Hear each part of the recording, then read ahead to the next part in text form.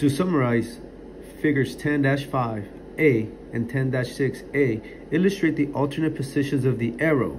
The significance of the welding symbol in each case is illustrated by figures 10-5B and 10-6B.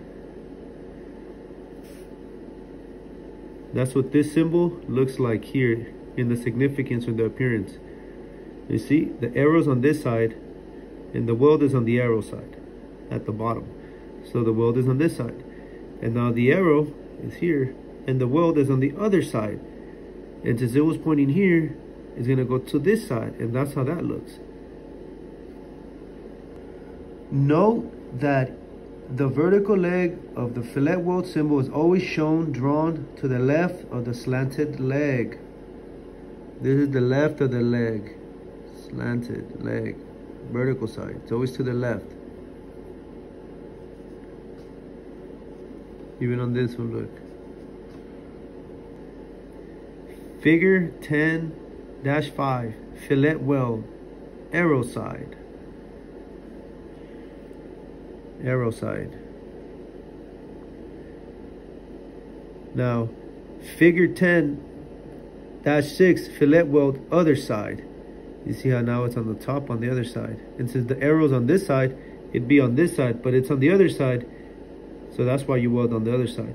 And on this example, since the weld symbol is on the arrow side and the arrow is pointing this way, you see that it'd be the same piece, right? So it's welded on this side because it's on the arrow side.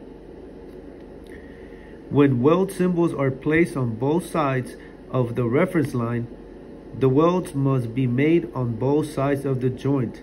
Figures 10-7 and 10-8. That's figure 10-7, one joint fillet weld. That's what it looks like. It's telling you wants fillet welds on both sides. On the arrow side and on the other side. Arrow side, other side. Now, figure 10-8 shows two joint fillet welds. So here what it says is, from the top, let's go on the top one first. It's pretty much uh, simulating this one, right? But either way, that's the arrow. It wants two fillet welds, one on the arrow side, one on the other side. One on the arrow side, and then you have the other side. And now the bottom, it tells you the exact same thing. In this instance now, the arrow side is on this side, so it'd be this side.